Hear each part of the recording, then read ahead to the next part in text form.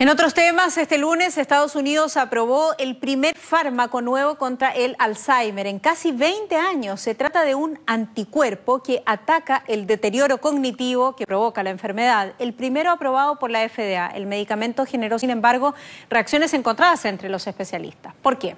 Por un lado, algunos reconocen que efectivamente es una luz de esperanza, pero otros dicen que no está claro el impacto clínico en los pacientes. ¿Cómo actúa este nuevo y revolucionario fármaco? Lo vemos en el reporte de Daniel Silva. ¿Qué se quiere fue un mágico. Durante pocos segundos, esta mujer con Alzheimer reconoció a su nieta. El video se viralizó. Millones se emocionaron con un momento que para muchos es imposible. Hasta ahora el Alzheimer no tiene cura. La enfermedad va apagando poco a poco el cerebro. Primero los recuerdos, luego el pensamiento y el habla. Es un trastorno progresivo y silencioso que lo que causa la dificultad de las personas a la larga es que hay menos tejido neuronal, hay menos tejido neuronal funcionando. El desafío es grande, pero la ciencia no se rinde. Cada día sabemos más sobre cómo funciona el trastorno.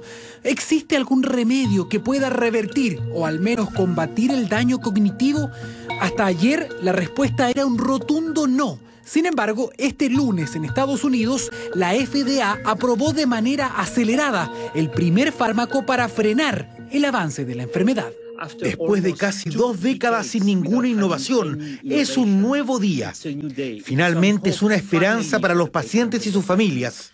Es un nuevo capítulo que se está abriendo y que vamos a escribir junto a los pacientes, sus familias y sus cuidadores. Después de años de desarrollo y ensayos, el laboratorio Biogen recibió luz verde para sacar al mercado un anticuerpo llamado aducanumab. Es un anticuerpo que reconoce de manera bastante específica a una proteína eh, que está presente en el cerebro de los pacientes con Alzheimer eh, y es la proteína beta-amiloide. Se trata de una de las sustancias que se acumulan en el cerebro de los pacientes con Alzheimer, proceso que comienza décadas antes de la aparición de los primeros síntomas de la enfermedad.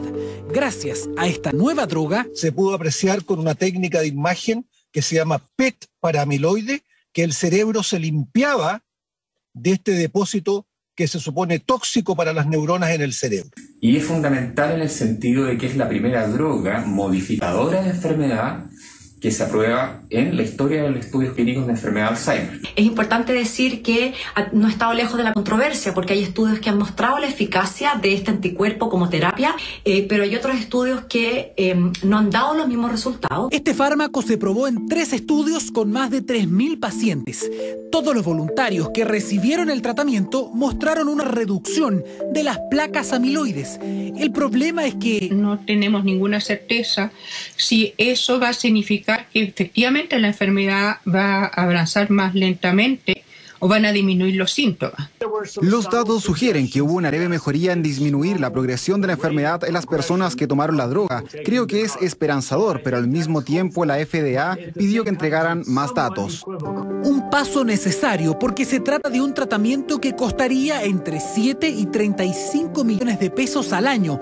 Por eso mismo los científicos llaman a la calma y a mantener un estilo de vida saludable porque insisten en que aún no hay certeza del beneficio clínico de este nuevo tratamiento, el primero que busca frenar o incluso revertir el impacto de una enfermedad que afecta a 200.000 personas en Chile.